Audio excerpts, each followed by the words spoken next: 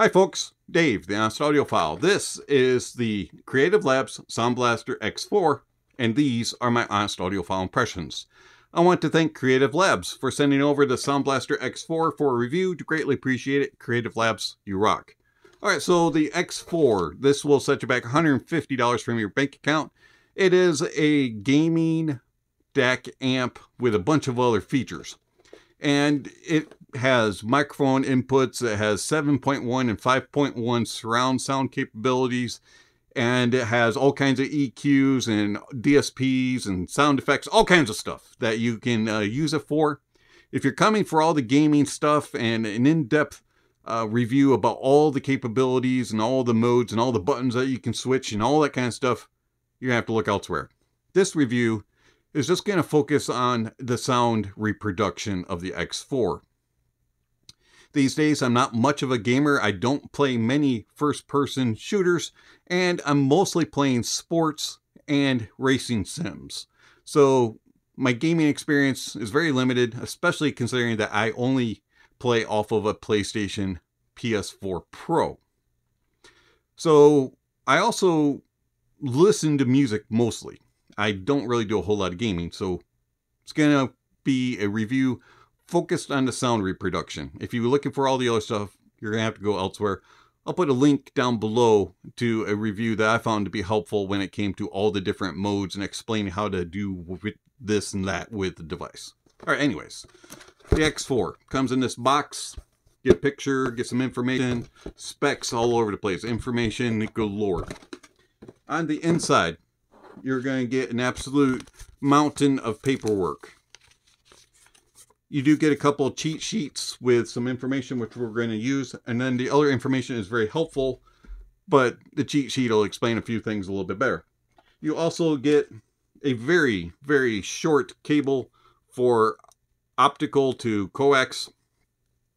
It's extremely short, and it never lost its curve. It's very springy and extremely short. This is probably about a foot and a half, maybe two feet long. And then you get this USB cable, which is about triple the length of the uh, optical cable.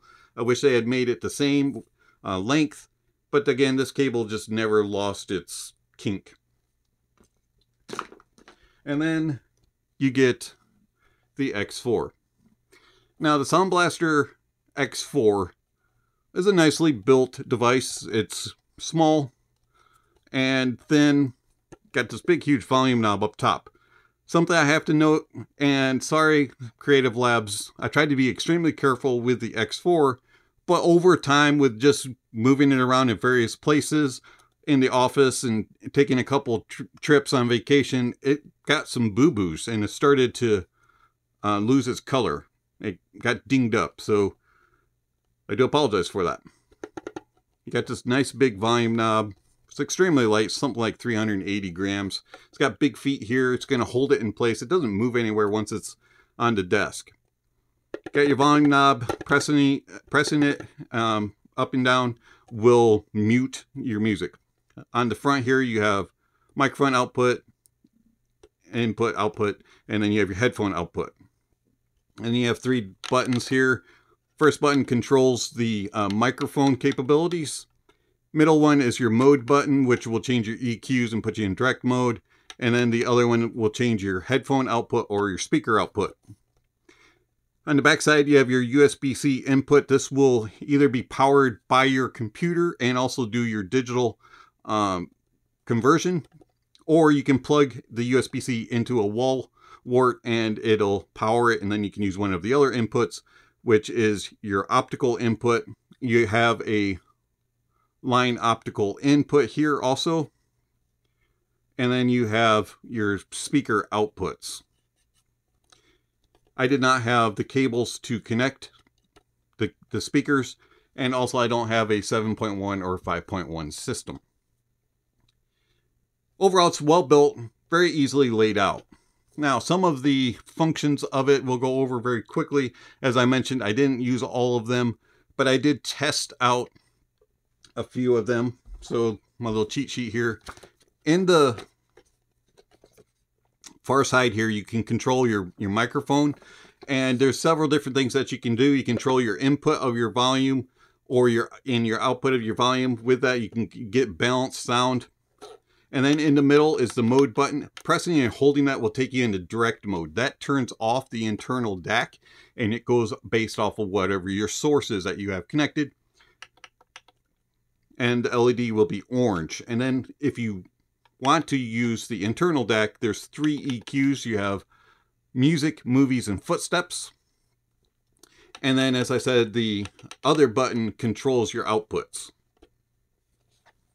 So I found that the sound of the X4 is pretty good. I was rather impressed by it. The the X4, I used it for gaming. I played several sports games and uh, such things as FIFA and uh, basketball. I played a baseball game and a couple other things. And I did some game, some some sim racing with Project Cars, Assetto Corsa, uh, original Assetto Corsa, and a few other racing games. And then I did try it with Battlefield 1. And I found that overall for gaming, the X4 is very good. It has nice capabilities for imaging and placement. It's very accurate. And I found while I was playing Battlefield 1, I felt a little bit more competent than normal. And maybe I need to use the X4 when I do this. I actually I know this is going to sound crazy, but I rarely ever play them, and I was able to finish one of the campaigns, and I was actually rather proud of that. And I do think that it was because I was using the X4, because I was able to hear things a little bit better, and I just had a little bit more confidence in where things were. As strange as that sounds. But racing and sports games, I was able to notice things also in that I had a little bit more uh, rumble and grumble when it came to motors and tires hitting rumble strips and various other things like that. And then the placement of things, I could tell whether I was on the right side or the outside, inside, if it was behind me, how close it was, if it was coming up on me, you know, things like that. There was there was a nice sense of placement and the environment around me. And it just made me feel a little bit more immersed and a little bit more involved, I guess you could say. So it did a very good job in that, and I was really impressed. But as I said earlier, the most of the time that I was that I spent with the X4 was listening to music. So transitioning over to the desk, turning on music, and I used the internal DAC and amp, and I, I just started listening.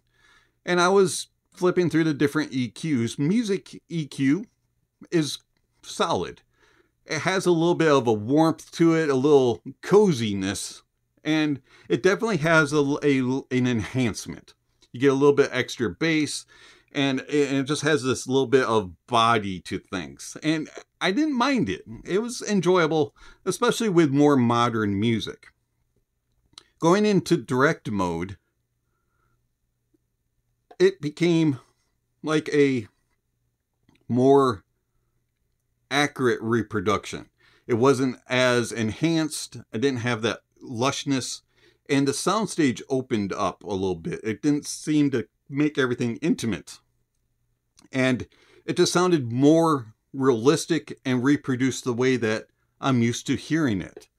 And then I started comparing it to the things on the desk. And that's when I noticed that it's a little bit compressed. It's a little bit always intimate and it always has a slight warmth to it. And it's okay, but it's not great. And I could live with it, kind of. If I wasn't reviewing and I wasn't so picky and nitpicking at everything, I could probably survive. But I wouldn't be content. And so I started to compare it to other devices that I have. And when it came to the gaming experience, I was very content. But I'm not a gamer. And it's kind of like the G5. They're very similar in sound and capabilities when it comes to gaming. But when it comes to music playback, the G5 is not very good. And I don't use the G5 for music playback at all. The X4 I can tolerate it if I'm just listening to music and not being nitpicky. But the other thing is the headphone power. With IEMs, it's very good. No problems whatsoever powering IEMs. Headphones, if it's an efficient headphone, it'll power them. But if it's something that's a little harder demanding, like a planar or a 300 ohm headphone or higher, it struggles. It might get them to volume, but it's not really producing them to their potential, and you're not really getting the full sonic reproduction that those headphones are capable of. And so you have to look at another amplifier to use. And I, I, I just found that the DAC in the X4 was holding it back. And of course, it is only 24192, which should be good enough and usually is. But at the same time, it just wasn't like the other stuff that I have on the desk. And when I say that, I mean like the JDS Labs DAC Plus and the Atom Amp Plus. They're both superior to the X4.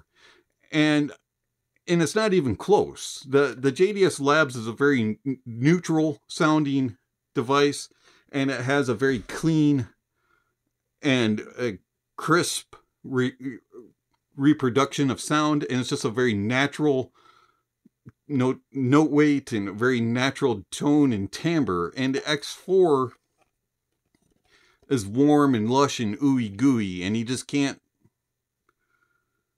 you just don't get the clarity and you don't get the details and resolution. It's not bad, but the JDS is better. And the JDS Labs Atom is stack, the DAC and the amp cost $210. So for roughly 50 bucks more, you get a whole lot better experience for music reproduction than you do with the X4.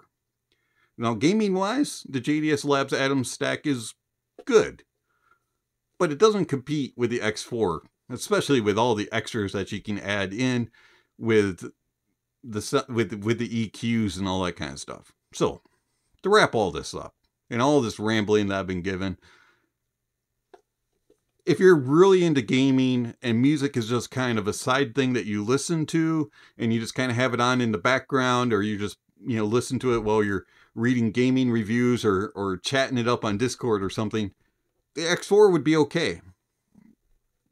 But when it comes to actually music reproduction, and if you're nitpicking and you really strive to get the best reproduction of sound out of your DAC and amp for the budget, the X4 is just not going to cut it.